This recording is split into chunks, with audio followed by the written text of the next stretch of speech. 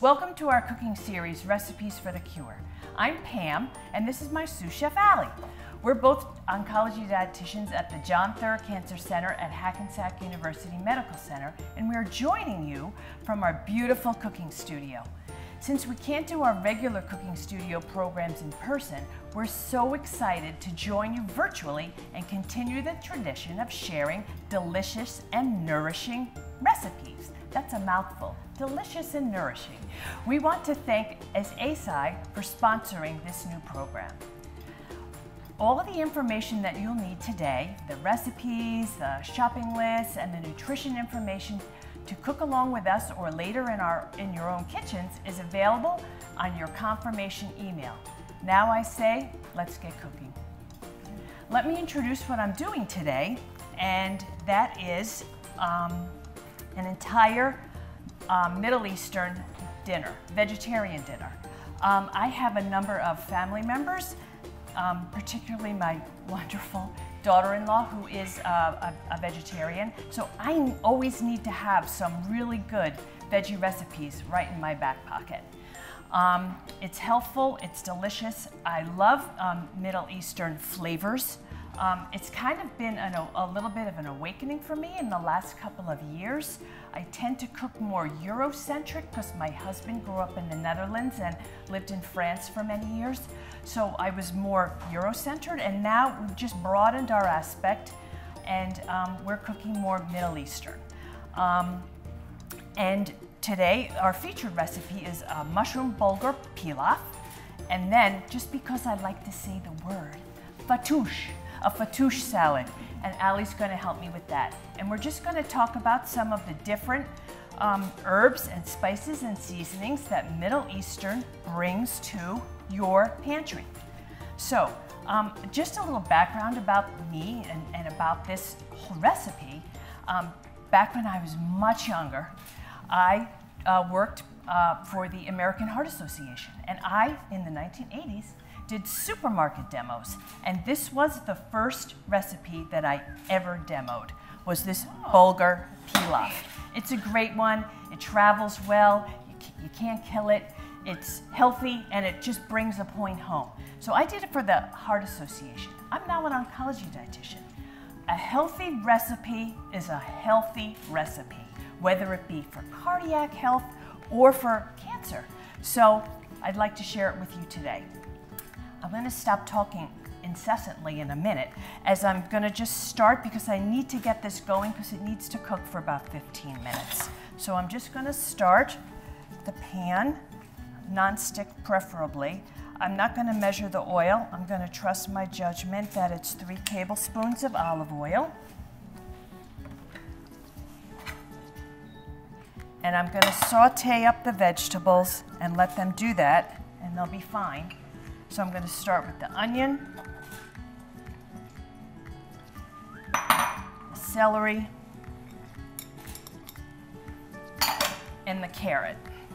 Such a colorful yep. dish in the pan already. This uh, recipe has morphed over the years. It never used to have carrots in it, but I'll tell you, I won't lie, it's a little brown looking. So I needed to perk it up a bit. Uh, we do eat with our eyes, um, you know, and I think that that's important. So I put the carrots in and I just loved it. Because you know what? You can't have enough veg. That's all I'm going to say. It will solve many, many, many problems. And this um, is this is like the flavor trio, right? Absolutely. This is absolutely. And you can pretty much add this as a base to so many dishes. This soups. is a mirepoix. So in French, it's the carrot, celery, and onion in uh, New Orleans, in New Orleans cooking, it's um, called the Trinity, and it's um, green pepper, onion, and um, and red pepper. So it, it's it's all a riff, but everybody sofrito, this you know um, Spanish cuisine, um, um, and Caribbean cuisine has sofrito, so that's a slightly different you know base that they start with, but it all is the same thing. So this is just gonna really just cook down for a little bit. I want a tiny bit of browning just to develop flavors. We do build, build, build, build. Okay. So, let me just talk a little bit about bulgur. Bulgur is a whole grain and it's really versatile. you can do a lot with it. It's the basis for tabbouleh and falafel. We all know those dishes from Middle Eastern restaurants. It, um, bulgur would be a perfect for a base of a grain bowl. Um, you can also, I just saw uh, in the New York Times a recipe for a hot bulgur breakfast that sounded absolutely delicious. And you can put it in soups, chilies, stews, meatballs to like really further your, your cooking. I happen to have a lovely Middle, um, actually it's a Persian store not far from where I live. So I went and got this uh, bulgur there. Um, but you can find it in any supermarket. It's very mainstream now. Bob's Red Mill is probably a really good source of, um, of the bulgur. And actually, I, I don't use bulgur very much. So this is, I'm learning something new and learning how to cook with a new grain today too, because I usually use brown rice or quinoa. And that's a healthy alternative brown rice. You always, yeah. you want to try as best you can to use um, whole grains. Um, carbs have gotten such a bad rap these last couple of years. We get questions all the time. Should I go low carb? Should I go low carb? No, everybody still needs energy, and that's what carbohydrates provide. However, it would be, um, you know, it's just much healthier, and the whole grains bring so many more B vitamins, um, fiber uh, to the picture. Um, also, this tabbouleh, uh, sorry, yes, it is true, but the bulgur itself adds fiber and protein and iron. So it is really important uh, for, for vegetarians. It's, a, it's, diet, a, it's right. a, great source. Um, most of the um, fiber is um, um, an insoluble fiber. So per cup, it has 150 calories, 8 grams of fiber, that's a lot. You're just going to have to trust me. And six grams of protein. That's a really nice amount of protein for a single food. Exactly. Yeah. So um, it can kind of be a um, you know protein uh, you know addition or replacer. Now today uh, we've just decided to. Uh, I've just decided. Stir a little bit. Yes, thank you. That'd be great. I'm just I need to finish chopping these mushrooms. A lot of times I slice them, but I want these smaller today because I want them just to go into the dish. Um, this is, we got these white buttons, no problem. You can use cremini, no problem. They're a little bit browner. They're all great. I love mushrooms. What are mushrooms known for? Adding a meaty flavor to just about anything. So that's very helpful today. Um, just about and again, this is a forgiving dish. It said a cup of mushrooms. I'm just being super generous here. You're not going to screw it up, right? Like you said, like it's kind of like you, uh, you can't. You can't. Everything in one no, pan. You can't. Yeah. Exactly. I want this. If you could stir that again yeah. a little and bit one longer. pan dishes are really the way to go. Absolutely. This also, um, it you can cook it ahead of time. It lasts in the refrigerator for a couple of days. It's perfect. This whole dish. Um, uh, freezes beautifully and reheats, you know, fantastically. It's in the microwave. It's it's quick as can be. It's great. Um, so, but getting back to the uh, fiber content, the insoluble fiber content, I think people struggle with feeding their fruit and vegetable goals and uh, struggle to get their fiber uh, limits in. Um, there's a statistic that I read recently, and about only 5% of um, of adults meet their fiber goals, which is between 25 and 35 grams a day. So um, this, this will definitely help with that. And it's really hard to do that if you're not including enough carbs in your diet too, exactly. as well as fruit. Exactly. So, sorry, I probably didn't finish my point, but we need carbs. We need healthy carbs, and that's what this is. Unhealthy carbs, cookies, cakes, sweetened carbonated beverages, even 100% juice, tons and tons of sugar. So we need carbohydrates, but we need the right kind of carbohydrates, and this is an example of one. So high fiber grains, they help with digestion, they help to aid constipation. Um, a number of our patients struggle with bowel issues of any sort. Um, and they help with weight control because they make you feel full, just like these vegetables that we're adding extra doses to. Um, so a high fiber, low fat diet helps reduce the risk of not only cancer, but cardiac issues. And helps to actually lower cholesterol for people who do have high cholesterol, which is the number one kind of precursor to heart disease. So I'm just putting the mushrooms in now. And I want them to saute up a bit.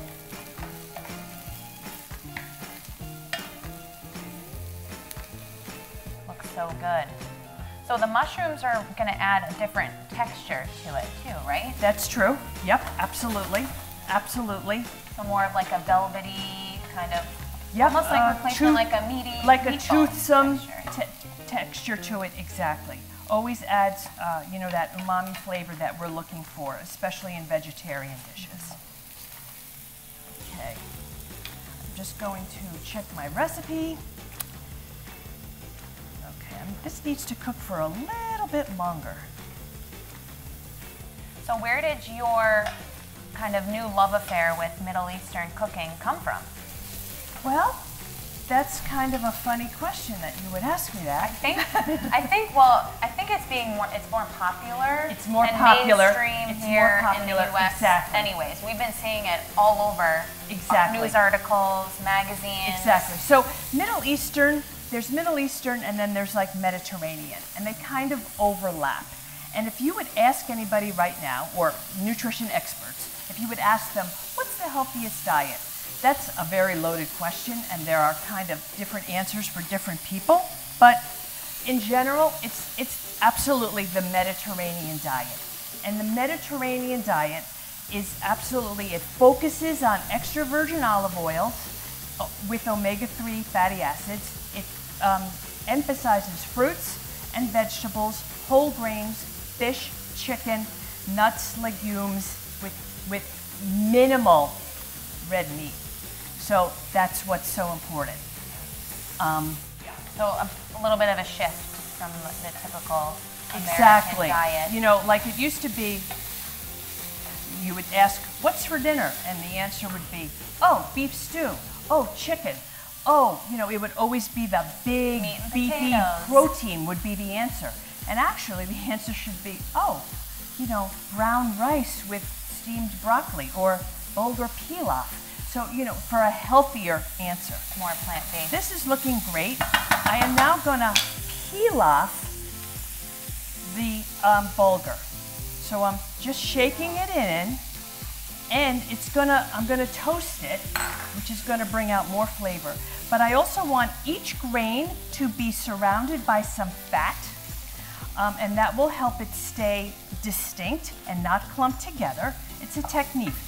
Pe- pilaf refers to not only a dish, but it refers to a cooking method.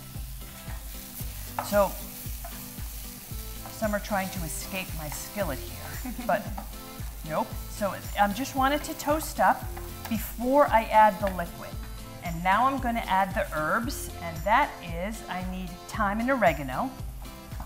But honest to gosh, you could use whatever you know was your was you know you liked. Thyme is is very um, popular or common in Middle Eastern cooking. I happen to like it a lot. I use dried thyme um, just for the ease of it. So now I'm going to do that, and then I If you have dried thyme, then Yep. you use less of it, right? Correct, because it's more fresh. concentrated than fresh. Yes.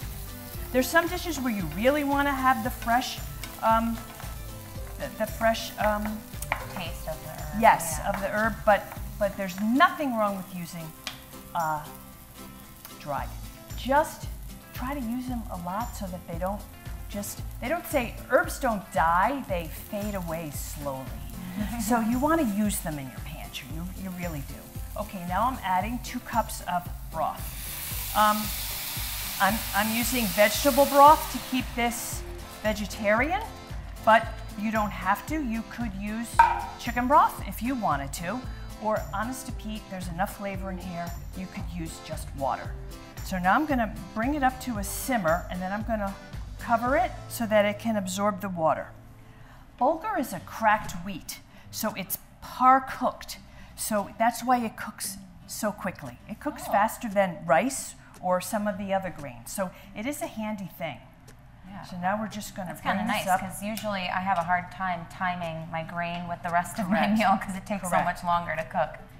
And I'm going to put in some pepper. Again, I think the recipe calls for half a teaspoon, but I'm not going to measure it. It's okay. You can taste as you go along, right? Exactly. That's the most fun part about cooking. and a bit of a dollop of salt, salt because there's very little salt in here. And, but then I'm going to let the people, you know, salt at their, to their own taste at the table. All right, this is bubbling, so I have to cover it up. Awesome. And this needs to cook for about 15 minutes. Good. Okay. We're just about almost have this dish finished. I'm going to chop some parsley to uh, dress it when it's finished. But Allie, yeah. tell us about the salad you're making today. So, like Pam said, I have to say the word because it's so much fun to say. This is a fattoush salad with a lemon pomegranate dressing. So if you haven't made your own dressings before, I highly, highly suggest it. There's nothing wrong with purchasing your dressings in the store, but when you make your own, it's just so much fresher. You have that like um, fresh citrus or acid, and you can add more herbs um, and make a much more flavorful salad, I think. Um, so in this salad, it really is very, very simple. But it's using traditional ingredients to Middle Eastern cooking, and this is a Lebanese style salad. So what we did already is we have our bowl of romaine, and we just um, washed it really well, chopped it pretty coarsely, and then put it in a bowl. So that's gonna make the meat of our salad. And one thing to note too, when um, we're talking to a lot of our patients here at the Cancer Center specifically, who some of them are more immunocompromised than others, um, we actually do still recommend fresh fruits and vegetables because again, you can't go wrong with them. You can't have too many in your diet. You still need those really good antioxidants, anti-inflammatory, anti-carcinogenic properties of fruits and vegetables. But you really want to make sure you're washing them very well, washing your hands, using good food safety. And I highly, highly recommend using a produce brush to um, really scrape off any skins of outsides of vegetables, you know, get around some of those more like grainy parts um, so that it is fully clean, you get all that bacteria and debris off. Right, so well-washed fruits and vegetables right. are definitely allowed and recommended for yes. our patients, just well-washed. So for this salad, I'm just gonna um, slice, start slicing a cucumber. And we're gonna make these pretty big slices so that, you know, when you mix it all together, it, you can see all that beautiful color. All right. Throw that in. Whoopsie. Runaway cucumber. And we'll just drop that in our bowl. And then, again, we're gonna pretty uh, uh, largely dice these or quarter these tomatoes to throw on top too. So you can see all of that color. And tomatoes are really a staple in Lebanese style cooking, right? Because right. tabbouleh has almost all of these similar ingredients. Absolutely. Right? The cucumber, yes. tomato, and that's something that most people have tried before. And parsley. And yep. parsley, yes. And then I'm going to cut the onion. This fattoush salad is, is known um, as a bread salad. So Italians have a bread salad and they use leftover breads, leftover bread. French make croutons from their leftover bread. And Middle Eastern people you make um, pita chips from their leftover bread. So I, I made these yesterday, so they're kind of ready to go. They're delicious because they're flavored with this super gem of a product, Za'atar. And Za'atar, I was kindly gifted this Za'atar um, from a staff member who went to Istanbul. And I kind of, and she told me she was going to go to the spice market, which is probably my favorite thing to do when I travel. So she, um, she kindly brought home uh, um, some, actually two different kinds of Za'atar. And Za'atar is a, a, Middle Eastern spice, and its base is um, definitely sumac, thyme, tiny bits of sesame seeds. Um, let me see, what else is in there? So much flavor in yes, one just spice. a lot of flavor. It, it smells, it smells earthy. Um, so it's a, it's a riff on a thyme, you know, mix. I wish you could smell it. It's hard for me to describe, but it's like earthy and it's just, it, it's distinctive. So all I did yesterday was I toasted up some pitas, oiled them a little bit, and then I um, uh, roasted them in the oven for just a short period of time, and then sprinkled when they came out with a touch of salt and lots of za'atar. So that's going to adorn and um, go along with our uh, fattoush salad. Okay, so I have all of the vegetables in the bowl, and I really just sprinkled um, some parsley right on top over all of that just to for every bite to have a little bit of flavor. So now I'm going to get started on the dressing. So the dressing, um, we actually squeezed um, a lemon into a jar already. Um, so we have that ready to go. Um, and anytime you're making a dressing, I guess this is the French way to make a dressing too. You use one third acid to two thirds oil. So whatever acid you're using, whether it's lemon um, or any kind of vinaigrette, like a vinegar, balsamic, or apple cider, you want to be um, using one third of that to two thirds oil. So that's what we're to do. We're to add um, all of these ingredients into the mason jar and just shake it up. So I'm to add the spices first. And we're to add one teaspoon of sumac. Okay, I'm just to shake a little bit in here since I don't have a teaspoon. And the sumac, again, is a staple in Zatar. That is the primary herb in Za'atar. It's, so it's um, the red sort of color that you see in this in this herb mix. That's Yes. the sumac. and it gives it the uh, the dressing a little citrusy, Yes, floral a little citrusy note. floral. So here at the cooking studio, and just you know, uh, we we as we try to avoid completely esoteric, um, you know, ingredients that we don't want you to lose your mind when you have to go try to Right. you know find these things. Yeah, so So if you don't have things. yeah, if you don't have sumac, you can you can just substitute lemon um, ron- lemon zest. So it, it, it, it's not exactly the same, but it will bring the same flavor profile. It would help if the honey's open. Oh, it's fresh. yes. I'm just going to squeeze two tablespoons of honey just to sweeten this up a little bit. That out. And then this is the special ingredient, right? Pomegranate molasses. So this is one ingredient you might not find at any every store. Right. I did get this at a Middle Eastern store. In our area, we are, you know, it's a very diverse area, and we have actually very little problem, uh, you know, uh, purchasing some of these things. But, But, I have been seeing it more. Yep, exactly. I'll tell you how I know that Middle Eastern uh, flavors are becoming mainstream. Because I, you know, it used to be pretty hard to find Zatar. Now, you can find it. Uh, McCormick's has uh, Zatar. So when I found that, like about a year ago, I was like, wow, they're not fooling around anymore. This is these flavors are becoming mainstream. So, um, you know, that was a fun little fact. All right. So I added um, another uh, quarter cup of oil and then the rest of the pomegranate molasses and honey, and I'm just going to give it a shake. All right. So all of those um, sticky ingredients, the molasses, the honey, will incorporate into a nice smooth dressing. Do you want to taste it, Allie? Yeah, let's taste it. See if it needs. See if it needs like a little Salt, salt or pepper. something like that. There's really nothing wrong with tasting as you go along.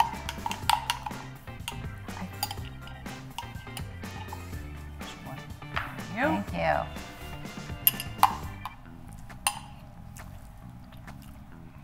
Pretty lemony. It's good. I like it. I like it. Mm -hmm. nice and fresh and Mm-hmm. a little fruity.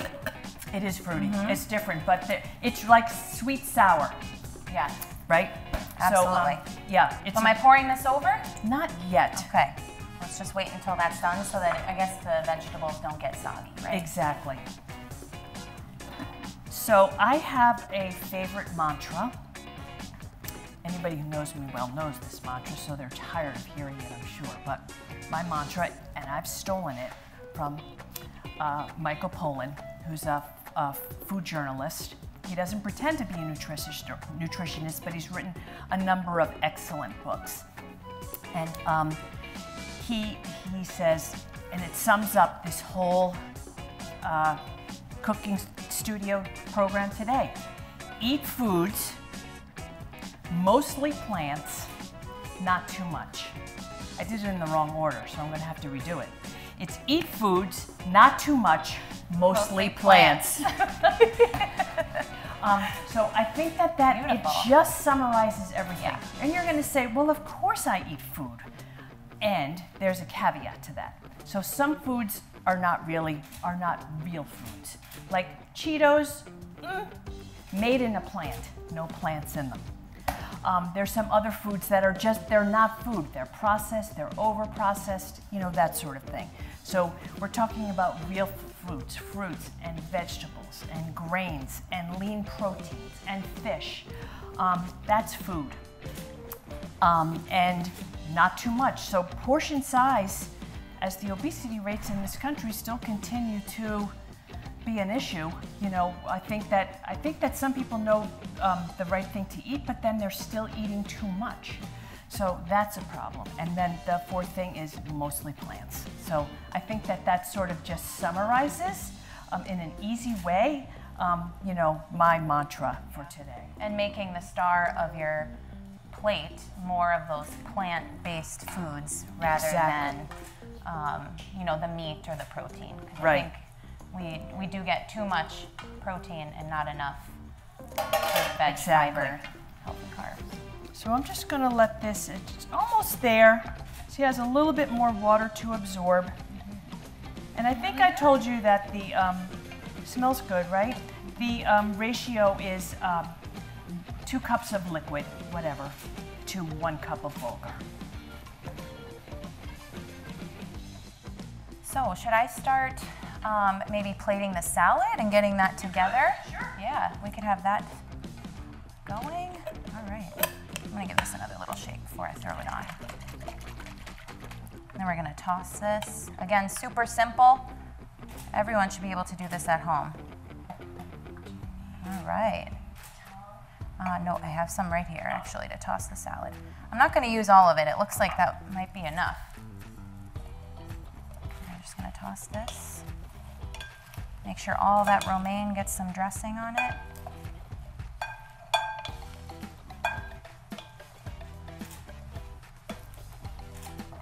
Mm, looks so good, and I can really smell that parsley and actually the lemon too coming out.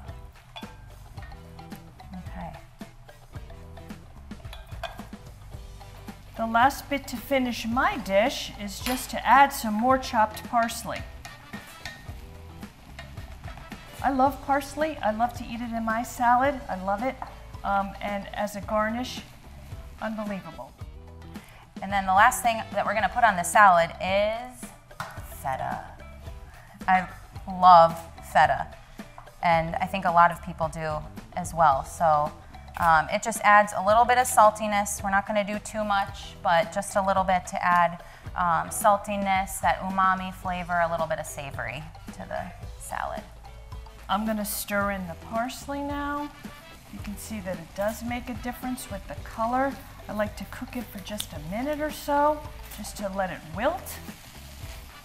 It adds a really, really nice color. It does. It, I, I, I won't, I won't deny it. This bulgur pilaf being, you know, quite brown, um, you know, could use something.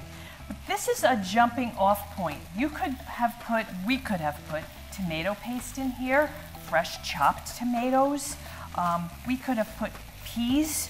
We could have put a number of things. We could have put um, And you could even use frozen vegetables absolutely. too. So this could absolutely. be a really pantry, absolutely. It's almost a pantry, meal. It, it is. Yeah. Absolutely. Now you could, you know, it, you could pair this. Most often, it is paired with chicken. Um, it, it's a it's a nice uh, take on that. Chicken, mushrooms, the parsley, the carrots. It's perfect. But you know, as I said, it really has enough protein and enough nutrient density to offer um, to stand on its own. Okay, I think we're good. Okay. We are gonna plate this up. As your sous chef, I'll hold your plate. Thank you. Thank you. How about I add the salad? Yeah, why don't you put the salad on there first?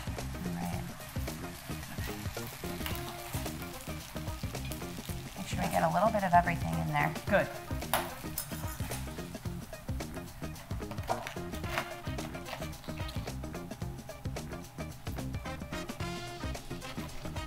Beautiful.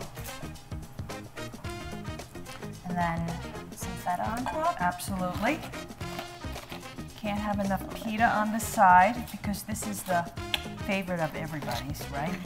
And really, it's it is a lot healthier if you make your own homemade pita. It, you know, homemade pita chips. It's simple, simple. You don't need to buy those. And then we're gonna have the pilaf. It just looks so light and airy, actually. Yep. It doesn't look heavy at all. Right, that the, when you pilaf like mm-hmm. that first, coating it with the oil and before you add the liquid, it, it really does come out and makes a difference. So I think that I think anybody would be happy to eat that for dinner. I would. Mm-hmm. I'm so hungry now. I can, think I can hear my stomach rumbling. looks beautiful. right, there we go. And I would I would get full off of So you don't need meat. A vegetarian meal can be very, very two of us- satisfying. Yes, it took the two of us. We're here together. Bon appetit. Yeah. Thank you for coming today, and I hope you enjoyed our Middle Eastern dish. And please check out the link below for the recipes. And we want to thank our sponsors from Azai once again. We couldn't do this without you. Thank you.